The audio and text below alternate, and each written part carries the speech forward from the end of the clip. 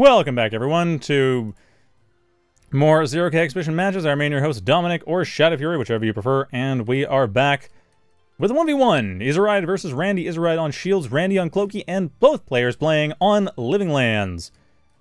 One of the maps.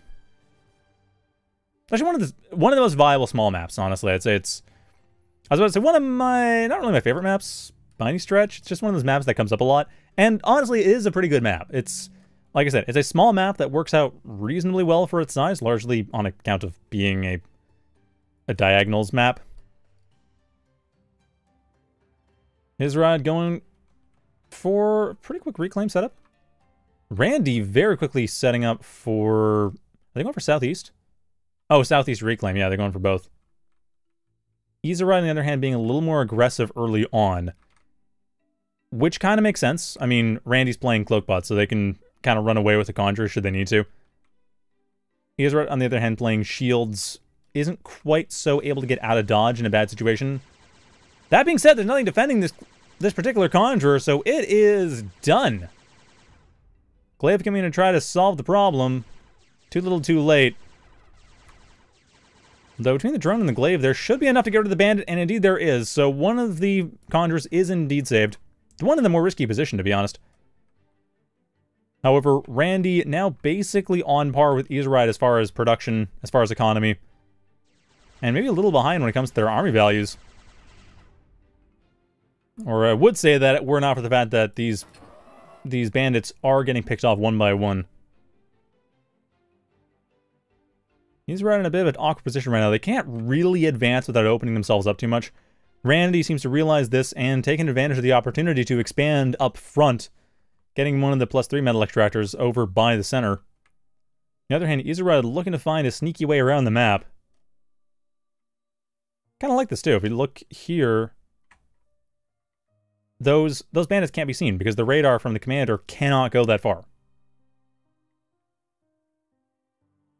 Like very clever use of the train there by Izirayd. It's a small thing, but you know, it's good to do from time to time. Snitch as well going over to the southeast side of the map. It might be able to find the Conjurer. If it does, that Conjurer is dead, but no, it looks like it's just for defense. Izirayd just making sure just to cover their cover their bases, cover their flanks, make sure they don't get hit by anything. Wise move too, as they are moving in here. 15 seconds remain for this Reaver to get done. The bandits will be arriving right as the Reaver is finished. Especially with the assist build. Randy Quickly switching off to that, the bandits won't be able to do much damage, forced to retreat, and now Randy, knowing exactly where Izirayd has been setting up, knows there is plenty of room to continue to expand. Actually, Randy going for a very strong commander push here. And its Guardian Commander, already level 3. Same time, the bandit's able to cover the flank, get around the side, and start taking out some of these metal extractors. Strong play coming in from Randy. Make sure they Izirayd maintains that economic advantage, which to be fair, they actually have been.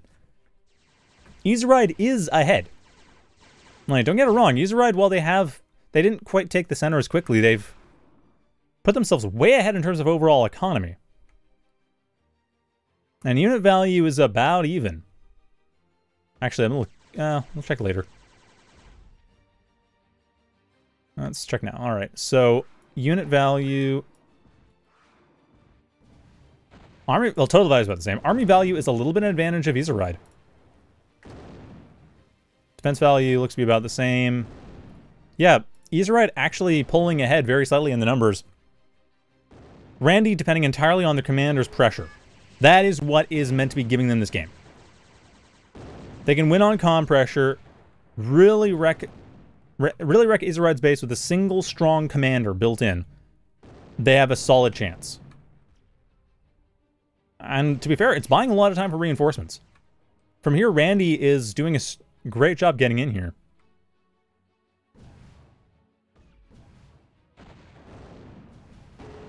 Oh, as Randy pointing out in chat, my grammar and my forum posts has been a little bit off. I keep saying casted on YouTube, not cast on YouTube. I... Yeah, okay, fair enough. And I feel like casted and cast are two different past tenses. Like, cast is the past tense for, like, making a mold. Well, Oh, no, I guess it kind of makes sense, too, because if you're talking about, like, casting for a show, for instance, you know, the show gets cast. Eh, I don't know. Grammar aside, is Randy coming in here, correcting my grammar and correcting my assumptions about the way this is going to play out, as Izirayd's commander taking heavy damage, Randy once again maintaining full control over the center of the map. Hasn't yet rebuilt there, though. Constructor going to do that right now, and they are, despite their comments in Twitch chat, actually remembering to build radar. Little infrequently, but they are remembering to. Fortunately for them, the commander does... They were making comments in Twitch chat about being bad at remembering to make radar since starting to play again. Fortunately for them, commanders always start with radar. Or at least they should. Yeah, field radar, I believe, is a base thing now. Oh dear. I'm losing faith in myself. No, field radar is definitely a base. It has a base upgrade all commanders get field radar, which is a nice little thing because there's so much that goes on in this game. Uh, there's so many unknowns at all times. And there's so many unknowns regarding direction. Like, there, that's the thing about Zero K is there's never really this fixed direction. There's kind of a general idea of where your opponent's coming from, but there's never really a totally fixed direction. So it's nice to have radar. And it's nice to have radar at all times. Or at least to start with radar. Just makes the start of the game a little bit less intimidating. Granted, we're way past the start of the game, and is a ride able to break a bit of Randy's construction at the same time. Also, are these expansions under Randy's nose? I must know. They are partially. The one over to the northwest is, the one over to the center west is not, but Randy doesn't have the firepower to get rid of the one in the center west. Which is fine. I mean, the one in the center west is going to... It's going to be building up, and that's giving Izirayd room to get back in this game. And actually, with that, Izirayd, I mean, again, they've had the economic advantage this entire time. If we look at the numbers, their army value is reflecting that as well. Despite Randy winning the attrition game.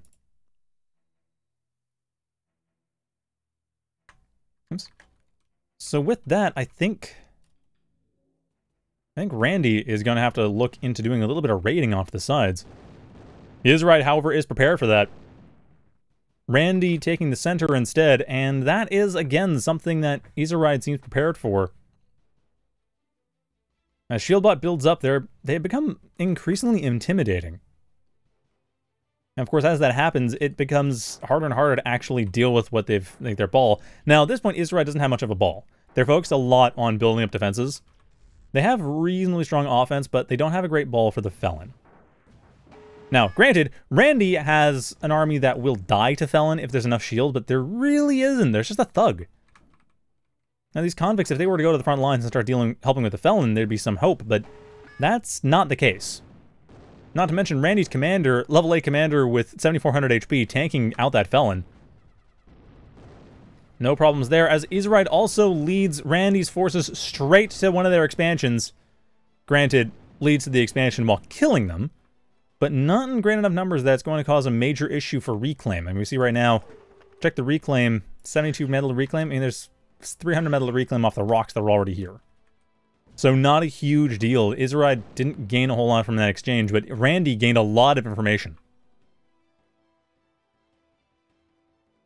I'm fairly certain that let's double check. Well, yeah, the radar is absolutely getting the information. Randy at the moment is looking... Still looking a little bit on the back foot.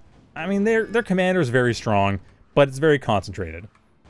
And Izirayd is taking full advantage of that, flanking around the side, sending units everywhere just to, you know, deal with a few expansions here and there force Randy to move around with the lighter units that they've been focusing their army on, with their commander, of course, being the primary focus for their economy. Which means Izirayd has, again, been kind of gaining an economy, army advantage, and increasing the large army advantage. Now, in by contrast, Randy has made a Strider out of their commander. So what's going to come down to is how well Randy's army is going to be able to deal with that. Thug Rogue, not a bad combination for dealing with a Strider Commander. Just comes down to positioning. And of course, there's also the, you know, Thug Felon down here, which is proving to have some issues when it comes to dealing with the slings. However, that's a defensive force. As long as that holds the line, it's okay. Because Izirayd, they're still a, they're still ahead when it comes to economy. They've now taken the southeast. The eastern expansion was never taken for any length of time by Randy. And the center, while is being taken pretty well, is only holding on so much. Not to mention Randy being completely locked down for drone production, meaning it becomes even harder, apart from the slings, to actually get into the northwest expansion.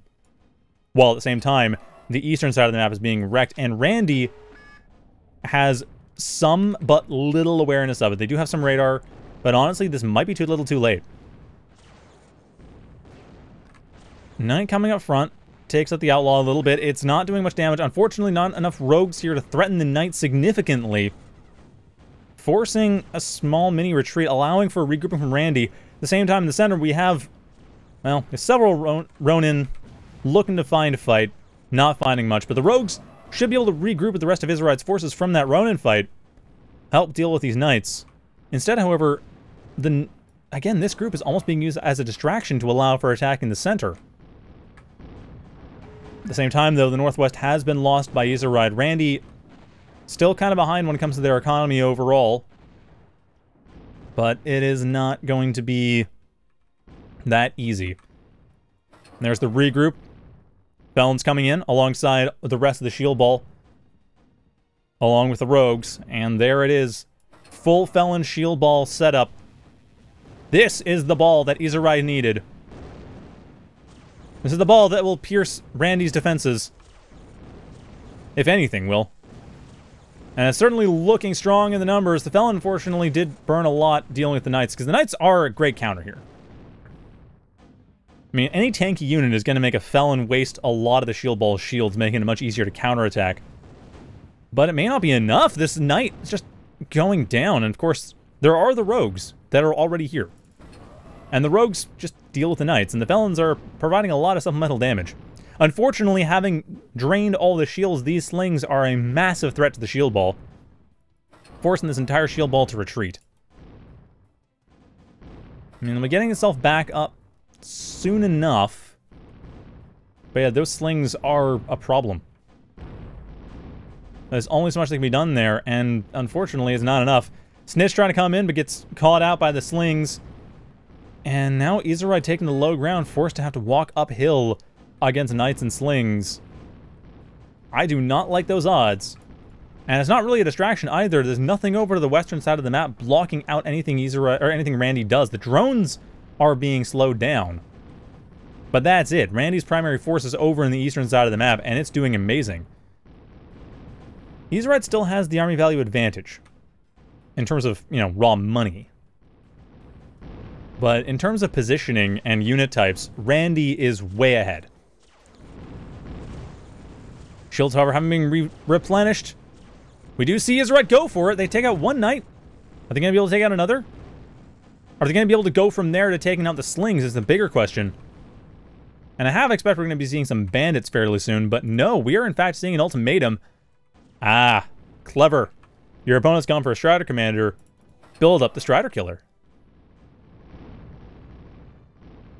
With that, Izirayd should be able to at least Get rid of the commander, opening up the eastern or the western side of the map. Actually opening with a lot of reclaim too, if they're able to back that up. Like send this force here to back up the ultimatum. And to be fair, the eastern front is holding. Some slings over to the south are causing small issues. But being as spread out as they are, there is actually an opportunity for these forces to come around and then move up here blocking the slings from behind. That does cede a lot of territory to Randy, however. Not an ideal situation to be in, but better than losing all of your economy, and if it opens up the slings to being killed, and that's exactly, in fact, what Izirayd's doing, if it opens up the slings to being killed, well, so much the better, because now you have fewer slings to worry about, and there's the ultimatum, getting rid of the commander, completely wiping that out, Randy losing a huge amount of firepower. The western front is essentially opened up to Izirayd, and Randy their response, build Licho. Actually, that's a pretty good response, all things considered. I mean, Licho's doing an amazing job against the shield balls. So yeah, build a Licho, get that splash damage to work out. Shields, however, have had a chance to recharge, and the slings are forced to retreat. I, they do not have the speed to deal with this. Reaver's doing their best to come in here, and of course, Knights with their EMP damage does a lot of damage to shields. But it's not going to be enough. And the Thunderbird coming in too. The Felons, however, stopping the Thunderbird from disarming more than a couple of units and damaging the shields only a little bit.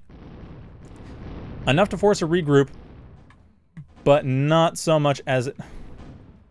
Not so much as to completely ruin Izirayd's chances. However, Izirayd's starting to fall behind in economy. Randy has... I only got 25 metal here. Izirayd building up some of their economy once again. There is the commander, though. Like, worth noting, I mean, Izirayd's own commander is right here. They have... Really? Only 400 metal worth of reclaim?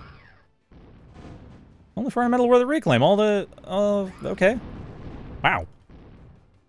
Didn't realize that's quite how it worked out with the commander modules, but apparently, yeah, it's only like 10% of the commander's value. Still, 500 metal worth of reclaim in a 1v1 is nothing to be scoffed at. I mean, Izirayd that for the commander, that's plus 10 for about a minute. So, getting that. Will be quite handy with Licho coming in here and doing exactly what I was talking about, getting rid of the shield ball, breaking it up considerably. Same time though, here come the bandits. Unfortunately coming in one at a time, the rally point being set right in the firing line of the slings. Still though, nice, nice use of the auto juke. The bandits, I mean, it's not on fight mode, so you know, why not? Coming in here, getting rid of the slings. They will have to deal with the imp, however. There's a few imps being set up around the map. Only one outlaw is in play. So Izirayd, you're gonna be in a little bit of an awkward position right now. Having only the one outlaw, the imps could come in, and actually more importantly, this scorpion so close to getting hit by the slings. One errant shot would completely wreck the surprise of the scorpion. Ah, I say that as another Licho comes in and wipes out everything that had been built up in the shield ball. And that's the cue. Izirayd goes for it, figures, hey, there's all of these, all these slings, maybe a few glaives, a Thunderbird or two, but that's fine. Only gets rid of some of the bandits, and just an entire line of bandits just coming in, constantly reinforcing. Scorpion moving up as well. I don't know if I agree with this. The Scorpion is going to be in a bit of an awkward position. Does get spotted by the Imp does get hit by the imp for really no effect. Does at least manage to do some damage back and tie up the Licho for a little while, although I say the Licho. I guess it is the only one. Alright. The Licho. Ties with Licho for a bit, and actually long enough that the bandits are able to come in here. Another Thunderbird strike, far more effective than the last one. Wiping out most of the bandits. Izirayd, I really kind of wish they'd retreat these bandits right now. Like, all the stun ones, just get them out of there. But no, they're pushing forward. This is just confidence. Izirayd, however, coming in here not... Oh. Ultimatum went down. Did some damage. But more importantly, Izirayd able to completely assault the base. Yeah, Ultimatum. I should... Yeah, forever pointing in the chat. Izirayd having Scorpion and Ultimatum in the same match. Yeah, that was... I mean, like I said, Izirayd had an economic advantage the entire time. Randy was doing a great job with unit counters, and they're relatively even the whole time. But Randy spent most of their money on their commander, and the commander, I mean, it was doing a bit of a push, but the strength it was at, I mean, it could have pushed in probably to the main base before the ultimatum was done, and if it had done that, there would have been an opening. But it, it was made, it was built up, there was all this money poured into it, or all this metal poured into it, and it didn't end up really paying off. Like, that, to me, is the biggest problem, is that and we can see from the attrition stats, like 3,000 metal, that's basically the cost of the commander.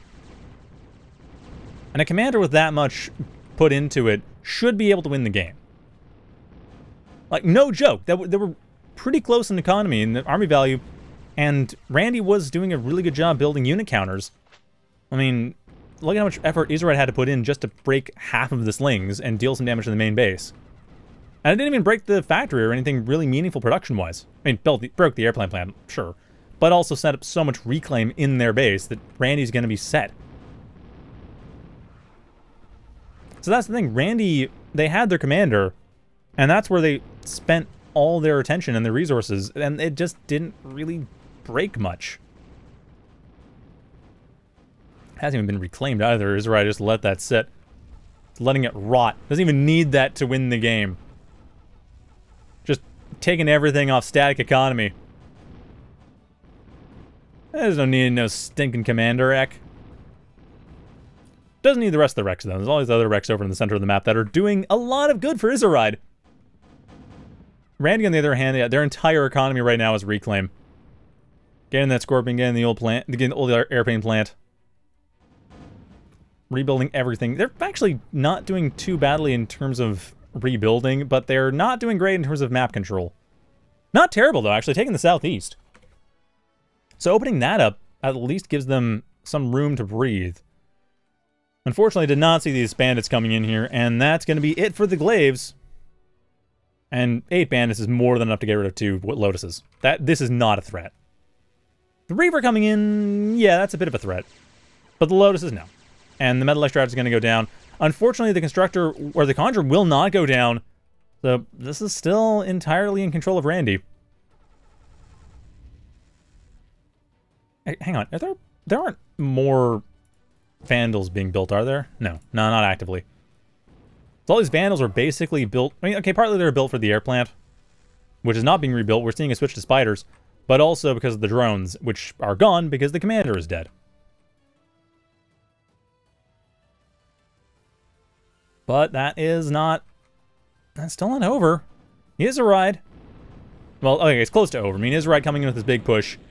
And with the Phoenix coming in at the top, too, to just weaken some of these slings.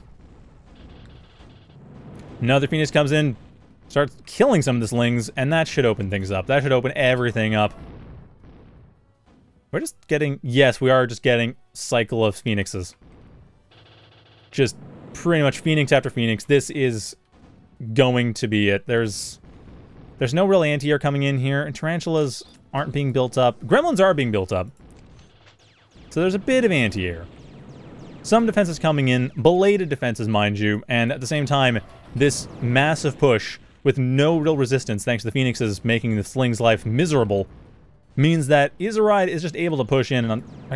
Okay, I guess... Also the Vandals, because why not distract things? I mean, hey, why not, actually? I think from here... What is... Like, Randy should see that they're Vandals, right? Yeah, it's not like they're seeing radar dots. Do they have radar? No, they have radar on the south southeast side of the map. That's it.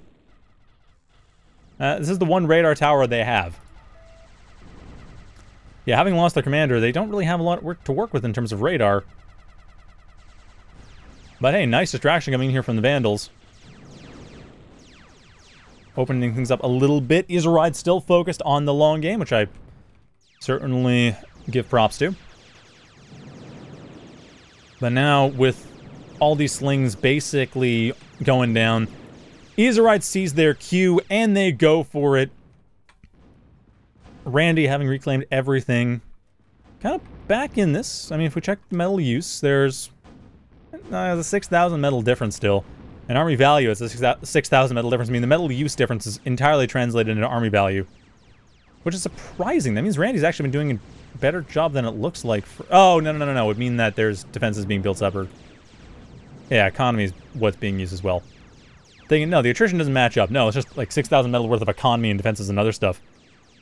And Randy realizes that that 12,000 metal spread is going to be, well, 6,000 metal really spread is going to be way too much. Throws in the towel, and Izirayd takes it after a hard-fought match with a surprising amount of striders, because really, Ultimatum and Scorpion in the same match, yeah.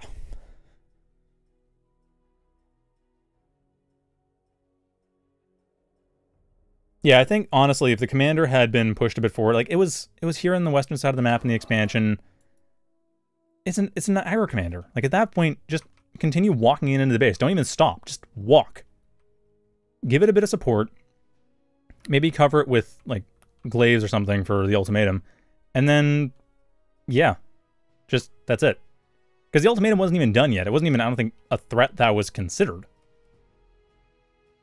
It just wasn't really there. So, yeah, considering that, the commander really, it would have been a big deal. Because honestly, if that had been put into army value instead, Randy, if you look at other value, up here is like 4,000 at around the third-ish mark. It's around here.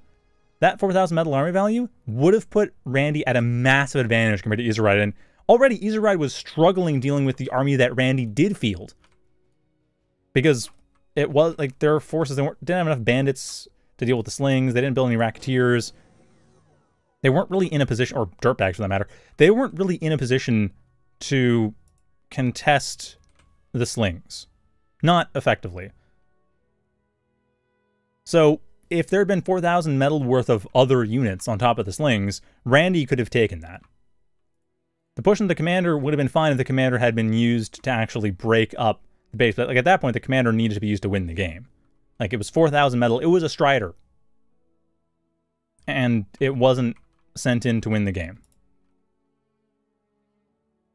Because bear in mind, that was also 10 minutes in, or 12 minutes into the game.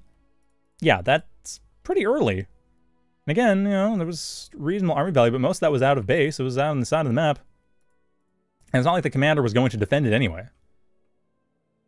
So if the commander had gone in for an attack, like, this base would have survived, and the commander would have done a lot of damage to Izirayd's base, and that quite easily could have turned it around. But that is that, so I must be going. I'm afraid that's going to be it for a day. I must see a woman about a cat. So, until next time, thank you all for watching, and have a good night.